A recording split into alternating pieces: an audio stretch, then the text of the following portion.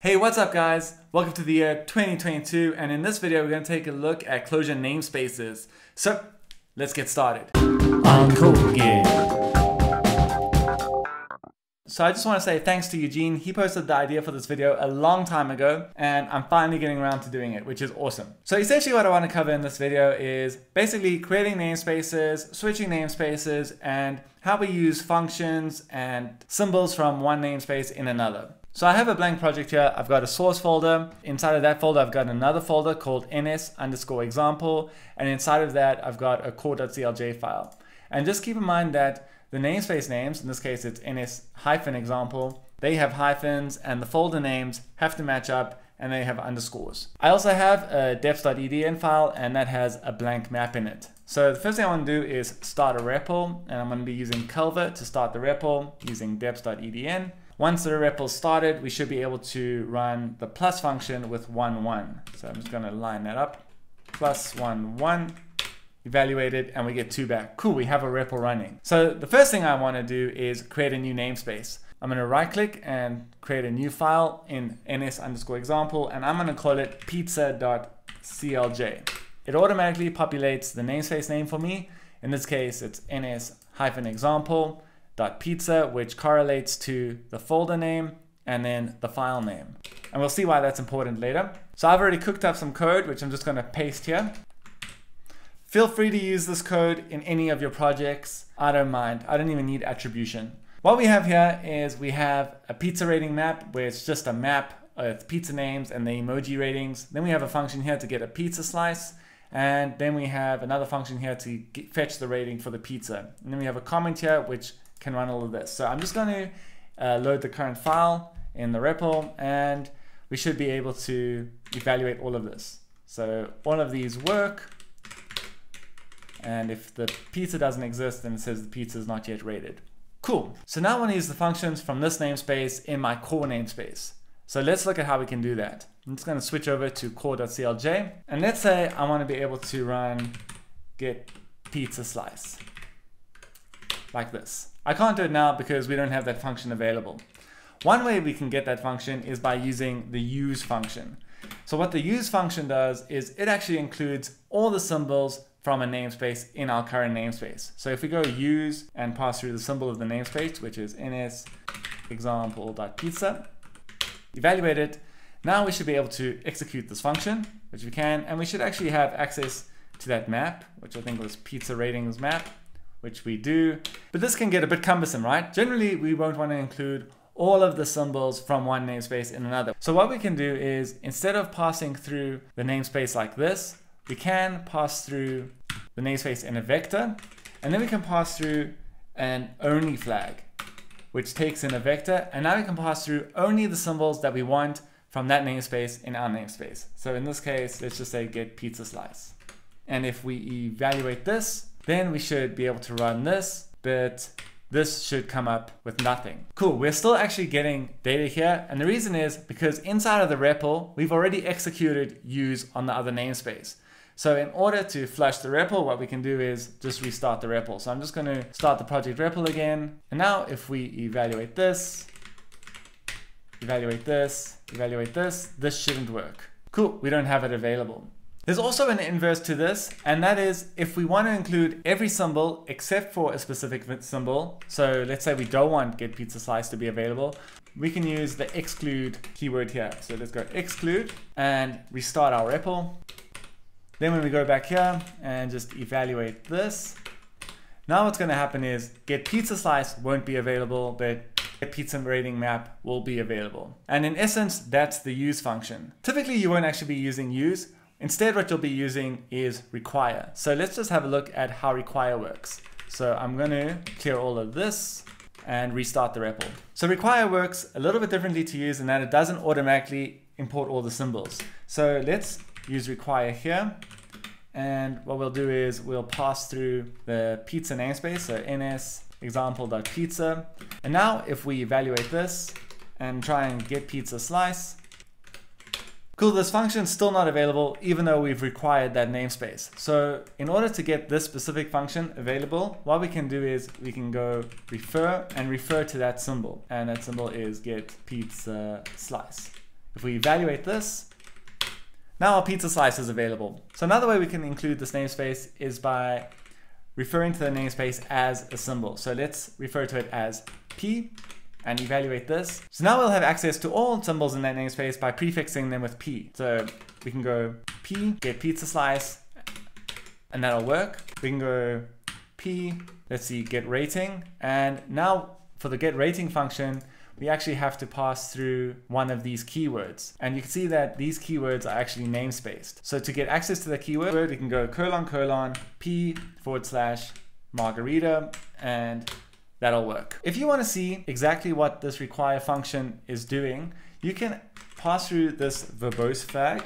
So let's pass through verbose. And now if we evaluate this, and go to our REPL, you can see that this is what it's running. But I want to show you something else is if we pass the reload flag and evaluate it, it includes this. It actually loads the file again. So it didn't run it here because that file was already loaded. And by passing the reload flag, we forced it to reload this file. So you can see that Clojure loads the file, then it switches to our namespace, then it aliases the namespace to p, and then it refers to specific functions. That's what's happening here. Cool, before we use the namespace macro, I wanted to show you the import function, and that's how we include Java libraries. So I'm gonna create a new namespace here by going new file, and I'm gonna call this utils.clj. So I'm gonna define a new function here and it's going to be called get UUID and it's just going to run the Java implementation of UUID. So it's java.util.uuid and then there's a function random UUID. And if we evaluate this and run get UUID, it'll give us a UID, but that's actually a UID instance. I want to convert that to a string. So I'm going to wrap it with the string function. Cool, and now we get a UUID string. But let's say we also had the need to create a date. So I'm gonna define a function here, and I'm gonna say get date. It's gonna return java.util.date and a new instance of date. So now we can run get date. Cool, and that's working. And I'm just gonna wrap this in a comment. So now we can see we have replication where we're using the Java util namespace twice. So what we can do is we can actually import and we can import java.util.uuid. And if we evaluate this, then we can now remove this here. Cool. But we're also using it for date. So instead of including it like this, we can actually wrap this in a list and then pass through UUID and date like so. If we evaluate this, then we don't need to use date like this. We can just reference the date class straight. Let's evaluate this and that still works. Cool, so that covers the use, the require, and the import functions. But generally, you won't use the functions straight like this. Instead, what you'll do is you'll use the namespace macro. And the namespace macro will call these functions in the background for you. So let's start by replacing this require with the namespace macro. So let's go and see how we would do that. So what we'd do is we'd pass through a list here, and then the first value would be the keyword that we're using, in this case, require. Then we don't need to pass through this as a symbol anymore. We can actually pass through this exactly like this, and we don't need the verbose and reload for here. You can just place this like so. And now if we evaluate this, it doesn't work and that's because there's still this symbol here. And if we evaluate this now, what we have now is the same, basically the same as before, except now we're using the namespace macro. And these should still work. Let's just restart the REPL, go back and evaluate this, and these will work. So now we can do the same thing with import. We can go here and we can use the import keyword, pass through this, but without it being a symbol. And now if we evaluate this, we get nil, and these will still work. And if we go back to core.clj, but we can use more functions than just one in this namespace macro. So for example, we can use use here, and I'm going to import a function from the string namespace, and I'm only going to report, import the reverse function. And if we use this, now we can reverse the string. We can also rename functions here. So let's I want to rename reverse. So I can go rename, and this takes in a map, and I want to rename reverse to rev. So now if we evaluate this, we can use rev as reverse. So say you have conflicting names. Say you have um, a name of a function that conflicts with a core function in. So if we go to pizza.clj, let's say we have, let's say we just have a count. So let's define count. This will be a terribly named symbol and say there are 100 pizzas. This is how I like my pizza. If we evaluate this and then check the value of count, we'll see we get the string there are 100 pizzas. But if we used count in another namespace like here and run count, you'll see that it's a function in the core in the clojure.core namespace. And what count does is it just counts the items in a list. So what we can do here is if we know what we're doing, we know that we're replacing the value of count, we can here pass through something called refer Clojure and we can exclude the function count. And if we evaluate this, you can see the squiggly lines went away here. Here we know that we're excluding count from the core Clojure namespace and we're referring to our own count. So if I wanted to refer to this count that we have here in our pizza namespace in core, I can just prefix it with p because we have this as p.